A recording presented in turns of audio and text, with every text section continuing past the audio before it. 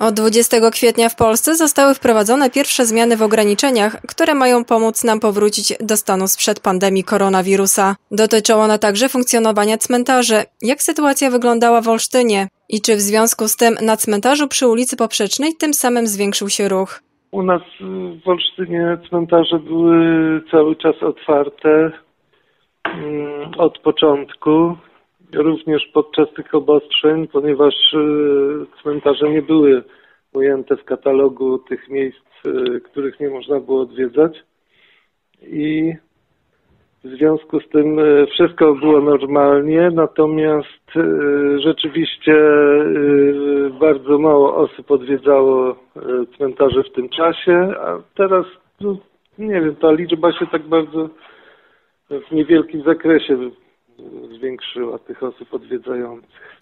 Na cmentarzu trwają również prace porządkowe. W tej kwestii nic się nie zmieniło. Na cmentarzu prowadzi się pracę w sposób ciągły. Wszystkie procesy przebiegają identycznie jak w ubiegłym roku o tej samej porze. Już niedługo ma odbyć się pierwsze koszenie trawy.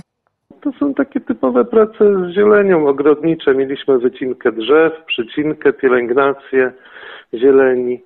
To wszystko jest to są takie coroczne procesy przypisane jakby do pór roku.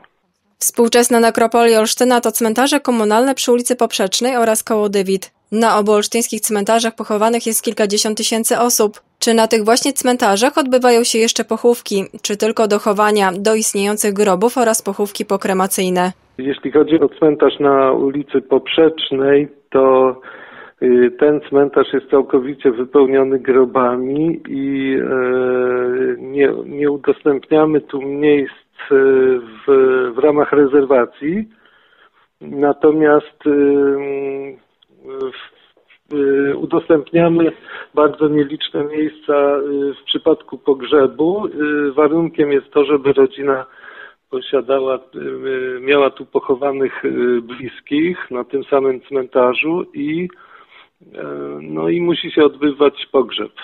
E, znajdujemy e, miejsca, niektóre pochodzą z likwidacji, z ekshumacji i wtedy jesteśmy coś w stanie zaproponować takim rodzinom, natomiast no, tych miejsc jest coraz mniej.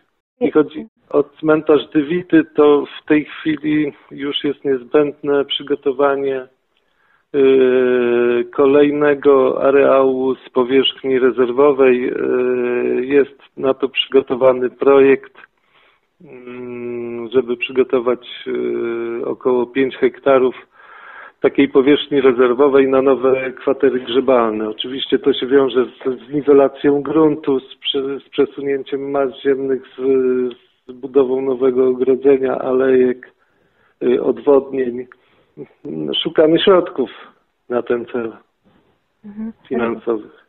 Jeśli chodzi o cmentarz na ulicy Poprzecznej, trwa budowa dwóch nowych kolumbariów, natomiast pole urnowe jest całkowicie wypełnione. Pochówki urnowe ziemne już są e, niemożliwe, e, ale można e, dochowywać urny do grobów ziemnych i do grobowców, do grobów tradycyjnych. No i pod koniec roku będą już nowe kolumbaria, ponieważ e, dwa nowe kolumbaria, ponieważ już w, w dotychczasowych też miejsca się wyczerpują. Jeśli chodzi o dywity, to możliwe są tam zarówno pochówki urnowe, jak i dochowania urn do grobów tradycyjnych.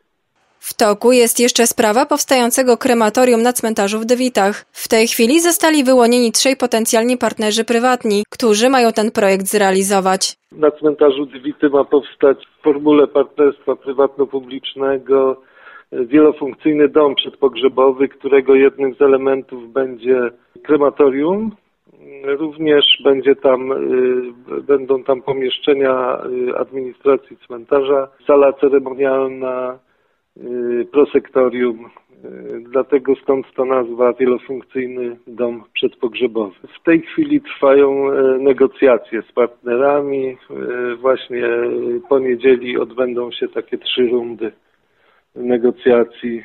Termin, kiedy zakończy się ta inwestycja, będzie znany, kiedy zostanie zakończone postępowanie związane z partnerstwem publiczno-prywatnym, którego harmonogram przewiduje zakończenie postępowania pod koniec roku. I wtedy zostanie wyłoniony ostatni wykonawca partner, który będzie realizował to przedsięwzięcie. Później dopiero nastąpi projektowanie i budowa krematorium.